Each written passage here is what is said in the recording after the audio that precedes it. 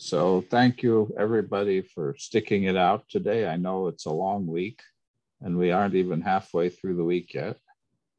Uh, so please, uh, please do answer our questionnaire.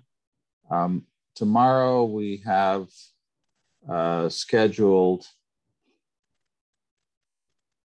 um, sorry, this is actually, I think I opened the wrong, uh, the wrong, uh, no, this is this is correct, but it's highlighted wrong. Tomorrow we're going to talk about cell properties and behaviors, and in particular cell division. Uh, we're going to have uh, an avascular tumor simulation where the cells absorb uh, nutrient or oxygen that is produced by the stromal tissue uh, and grow in response to that, uh, become quiescent and necrotic in response to that.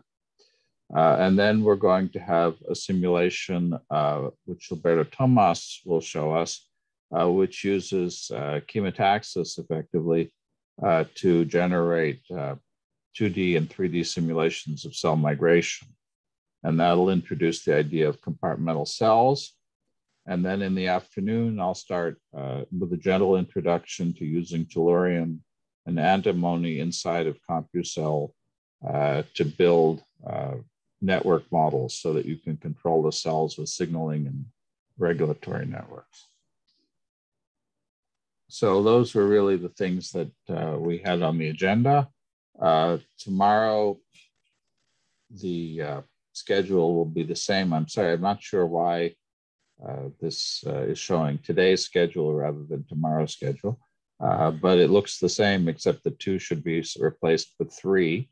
Uh, we'll start uh, about 10 a.m. as usual with questions and comments, uh, an outline of what we're going to do. Uh, then we're going to do the, when we come back to the previous one, which will show it correctly, uh, we'll come back to the cell properties and behaviors, which Josh will do, uh, the avascular tumor simulation, the 3D cell, 2 and 3D cell migration, and then the introduction to subcellular modeling. And so that's the schedule for tomorrow. Uh, if anybody has any specific questions, wants to talk about uh, the hackathon projects, appreciated all the neat uh, suggestions for hackathon. Uh, that will be great. Uh, there's a question, will Josh please upload the demo files for tomorrow? Uh, it would be up ideal to be able to upload the CC3D files to NanoHub before the session. That's a good suggestion. Yes, yes. I've already put uh, the uh, demo file for 3.4 up. So that is loadable from the student materials folder. Um, there's a question, is it possible to preferentially localize chemicals to different parts of a cell? Um, that's a complicated question because the if the chemicals are represented as fields, then you would have to have secretion and absorption in order for that to happen. Uh, uh, Julio has developed a method where you create what are called subcells, which represent chemical species and that move within cells. Uh, and that that allows you then to implement actually the movement of chemicals within cells. Uh, but uh, that's a relatively complicated thing to do. I actually showed those simulations yesterday, some of those simulations yesterday. I don't know if Julio is going to be able to get to that uh, within the limits of the course. Uh, but if somebody wanted to learn about how to do that, uh, you should ask Julio, and he could perhaps show you how to do it. Um, yes, there's a comment about using modeling phase separation of chemicals within the cell. That's exactly right. Uh, Julio wrote simulations, for example, of uh, PIP2, PIP3 segregation on the cell membrane, of uh, the localization of flamingo and Van Gogh in uh, planar polarity uh, development in Drosophila uh, using this methodology. And it, it's fairly straightforward to do it, but it's probably a little bit beyond what we're going to get to in the classes that we have here. Um, if you would like to see that, we can ask Julio and see if he can prepare a module on it. But uh, uh, that's uh, probably a little bit beyond what we can do in this in this set of classes. Uh, but we definitely can uh, do that. Uh, there's a question: Can CD C3D solve advection diffusion problems? The fundamental answer to that is no. solving advection diffusion equation is an industry. Uh, typically, a good advection diffusion solver is 150 to 200,000 lines of C++. Uh, and are specialized packages like Phoenix uh, that do that. Uh, there also are some uh, finite element packages or finite volume packages that work in Python that you can use.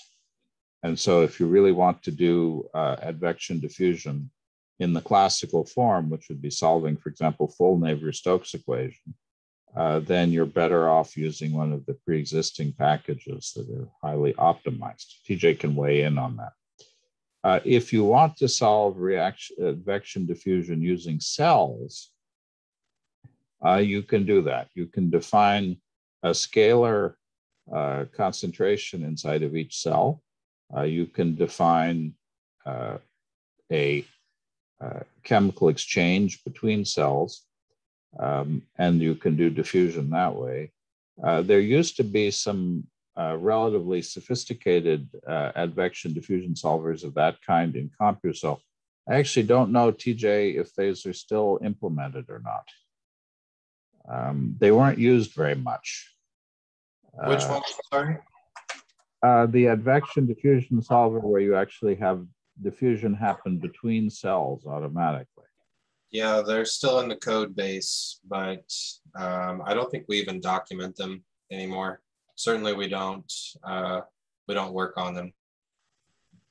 So you could try them, but uh, that would be at your own risk. Uh, the reason the reason for that again is not that, that that's not an interesting problem, uh, but that actually numerically to solve it efficiently is extremely difficult. Uh, and uh, it's better to outsource that to packages that are specialized. Uh, but it is possible to do it if, if it's something that you need to do. Any other questions uh, about that? Uh, we've done, we've done, we've certainly done advection diffusion. Actually, I showed you an advection diffusion simulation. Uh, the simulation I showed of liver toxicity uh, used an advection diffusion solver. Uh, so it's not not uh, that it does it's not possible, uh, but it's numerically not a very efficient way of doing it.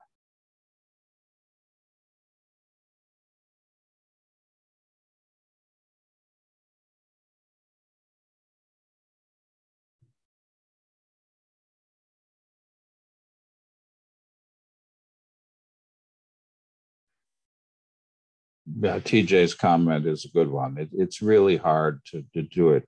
To develop a general purpose advection diffusion solver is very hard. Uh, doing it for a specific application is not so hard. But to write a general purpose advection diffusion solver that works well under all conditions is quite difficult.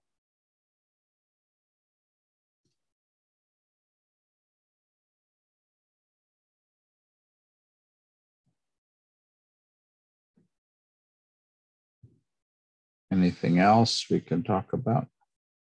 I know it's been a long day for people.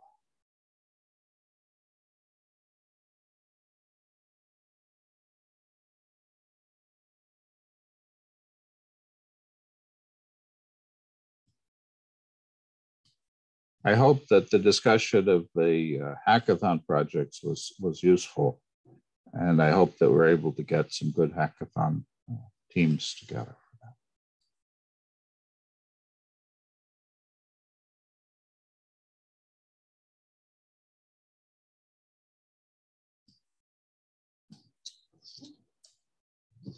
Okay. Well, thank you, everybody. Maybe our instructors could stay on for a second, and uh, we'll look forward to seeing you tomorrow. Thanks, everyone. Have a nice evening.